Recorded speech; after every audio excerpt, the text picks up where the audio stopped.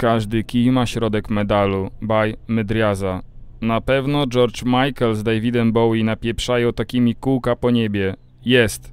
Tym razem łapiemy go z za grubych kurtek i szalików, ściany zimnego powietrza, siedzi jak gdyby nigdy nic na płachcie papieru, wiszącego smętnie z wiaty przystanku. Jak się dobrze przyjrzeć, to można zobaczyć bijącą z niego aurę absurdu. Początek kwasowego tripa jest jak zapadanie w świadomy sen. W pewnym momencie, mimochodem, ale z pełną klarownością dostrzegasz lub czujesz wyłamujący się na swój sposób znanej i uporządkowanej całości element, rodzaj zaproszenia, wejście do króliczej nory, błąd w Matrixie. Każdy po swojemu już wie, że to już. Od zaaplikowania kartoników mija właśnie dobre pół godziny spędzone głównie na minimalizacji kontaktu z marznącymi tabunami ludzi, upchniętych w udekorowane światełkami centrum miasta. Czekamy z W na tramwaj, tuptając w miejscu i wlepiając oczy w plakat z propozycjami prezentów świątecznych. Pozycja z podpisem Zdalnie sterowane auto wzbudza nasze szczególne zainteresowanie. Nie patrząc nawet na twarz towarzysza wiem, co ma teraz w głowie. Wyobraża sobie proces myślowy grafika, nawożony litrami kawy, który prowadzi go ostatecznie do podjęcia decyzji o wklepaniu tego podpisu wersalikami. Wszakże to, co widnieje na opisywanym obrazku, jest delikatnie od przeciętnego desygnatu auta to małe dziadostwo na trzech kółkach, niedorzecznie wielkich w stosunku do elipsoidycznej, pozbawionej okien, drzwi i świateł karoserii. Jedno mniejsze kółko na dachu, całe jest zrobione z mlecznego, półprzezroczystego tworzywa, spod którego wyziera światło ledówek w barwach funkcji i błękitu. Wygląda jak całe lata 80. skompresowane do formy zabawki erotycznej, ale wyraźnie przecież napisali, że to zdalnie sterowane auto, okej, okay, niech będzie. Podróż tramwajem natomiast jest tak tramwajowa jak się tylko da. Metalowe monstrum jęczy i skrzypi przy każdym zakręcie, a dzięki gwałtownym przyspieszeniom i sile inercji nieznajomi ludzie na moment wpadają sobie w objęcia, by chwilę potem wyrażać skruchę z powodu naruszenia nietykalności cielesnej i zażenowanie niemożnością przeciwstawienia się otoczeniu i ustania prosto, jak na człowieka przystało, Proszę wybaczyć, to nie ja, ja bym pani nigdy, to ta cholerna fizyka. Przycisk do otwierania drzwi rozlewa się w przestrzeń najzieleńszą sferyczną tęczą. Trasa linii przedstawiona na tabliczce w formie odcinka z zaznaczonymi na nim przystankami wije się jak wąż. Zrzuca z grzbietu punkty, przez które ma przebiegać i figlarnie kluczy pomiędzy nimi. Jawi mi się to jako wizualizacja wolnej woli. Szept pojazdu, który mówi: Hej, zapnij pasy, zaraz zerwę się z trakcji i zawiozę was tam, gdzie naprawdę chcecie być. Drugim uchem wpadają jednak ochrypłe komunikaty oznajmiające nazwy przystanków zgodne z etykietami punktów na tabliczce. Wóz skupia się na narastającej częstotliwości dźwięku silnika i twierdzi, że słyszy czas. Motorniczy pali szluga i zdaje się niczego nie słyszeć. Wypadamy z dusznego, wibrującego życiem wagonu wprost w chłód i nagość parku. Natura nie czyni skoków, stąd tak gwałtowna zmiana stanu zdaje się na złość wzmacniać samą siebie. Zastygamy, zamrożeni w pastelowo-akrylowej kulce z zimową miniaturką. Ptaki brzmią, jakby wiatr grał na szklanych kieliszkach. Za każdym dźwiękiem podąża pogłos przesypywania kryształu po lustrze. Każda ścieżka jest równie dobra, Każda kusi obszyciem skruchej, animowanej koronki splecionej z gałązek okalających ją krzewów. Każda przybrana odmiennym wachlarzem skrzących pryzmatów.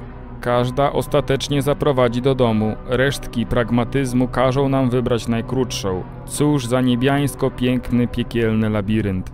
Do mieszkania wtaczamy się po bliżej nieokreślonej mieszaninie kroków, czasu i wymiany wrażeń na sposób śmiechu, przekleństw i monosylab. Język jest już niepotrzebny. Przed wyjściem zostawiliśmy włączony player z całą biblioteką muzyczną w trybie losowym. Rzecz jasna, nie mogło przywitać nas nic innego jak White Rabbit, Jefferson Airplane. Chociaż mogłam przysiąc, że od lat nie mam ich na playliście. Zostawiliśmy też dwie bombki po 150 mg MDMA. Pokój będący jak na tą chwilę Tesseractem sugeruje, że być może to byłoby już za dużo.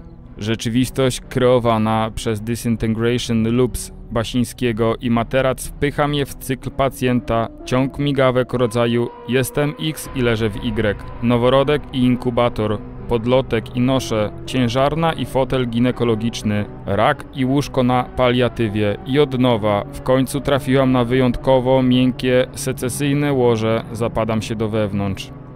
Ciemno, przytłaczające poczucie, że nie wiem. Wtem światełko, ruszam ku niemu.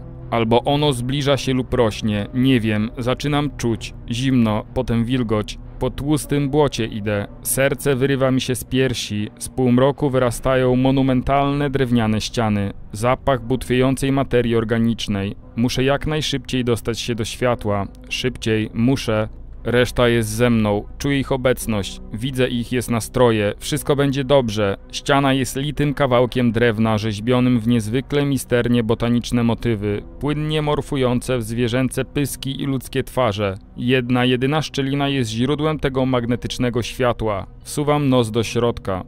Atom po atomie wciąga mnie w siebie nieograniczoną przestrzeń utkaną z blasku, miażdżącą, przepotężną, unicestwia mnie w jednej chwili, rozkłada w nieskończoną matrycę szarych jednostek, każda obserwuje wizję dwóch kolosalnych biegunowych postaci. Manifestują się jako koguci ogon i pasmo jasnych kobiecych włosów, płaczą w dzikim tańcu jak wirujące derwisze. Przestrzeń dudni i pulsuje, jakbyś nałożył na siebie wszystkie nagrania z Voyagera i wsadził głowę w subwoofer. Byty obracają się coraz szybciej, dźwięk przybiera na częstotliwości, światło na natężeniu. Wszystko zlewa się w jeden biały, rozedrgany pisk.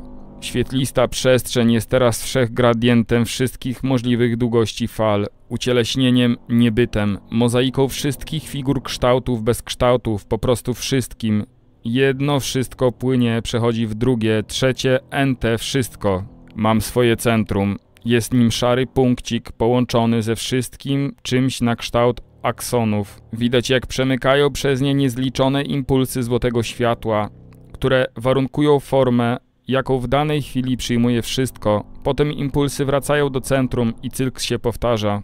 Otwieram oczy, koniuszki palców i czubek głowy sprawiają wrażenie, jakbym właśnie przejeżdżała nimi po naelektryzowanym ekranie starego telewizora. Patrzę na W, chcę coś powiedzieć. Y, każdy kij y, ma środek medalu. Wiem, kochanie, widzieliśmy. Chodź tu. Tak pięknie grasz ze swym światłem, cały błyszczysz, chcę wlać w ciebie swoje, zanim z nas uleci, zanim znów trzeba będzie nam siebie odszukać. MK wstrzeliła się już z pełną mocą. Wrażenia dotykowe są na poziomie komórkowym, a kwas nadal sugeruje, że dotykamy się aż po sedno, pokonując barierę skóry. Para idealna. Jedno otwiera głowę, drugie przypomina, że masz też serce. Cały garnitur bodźców zewnętrznych jest jak orkiestra trzymająca za mordę dyrygenta. Posłusznie śpiewającego odę do jedni. Pod powiekami film o skali, to, że jesteśmy organelami jednej komórki, to dwoma kawałkami skały w polu jednej gwiazdy, to splątaną parą fotonów, to szlugiem i motorniczym. Dużo się działo, niewiele zapamiętałam. Z czasem coraz dłuższe przebłyski codziennej percepcji, w których odnajduje się w nie mniejszym stanie splątania, nagości, krańcowej euforii i krystalicznego spokoju. Można już rozmawiać, słucham. Opowiada mi o tym, jak energia obrasta w materię i materia obrasta w energię. Żeby móc się nie obawić, żółty kolor słońca to sam środek widzialnego spektrum, trochę w prawo, trochę w lewo i oto widzimy. I co to w ogóle znaczy? I że pieprzymy farmazony jak po pierwszym kwasie, w głowie się pali, gasimy pożar kilkoma buchami z bonga i oddajemy się słodko-gorzkiemu afterglow, obserwując, jak wszystko wraca wokół i wewnątrz nas do tego bardziej znajomego porządku. Dzięki za wszystkie Wasze subskrypcje, które udało się uzbierać mimo tematyki kanału, która nie jest wspierana przez YouTube'a. Jeśli chcecie mi pomóc, rozważcie wsparcie kanału, szczegóły w opisie.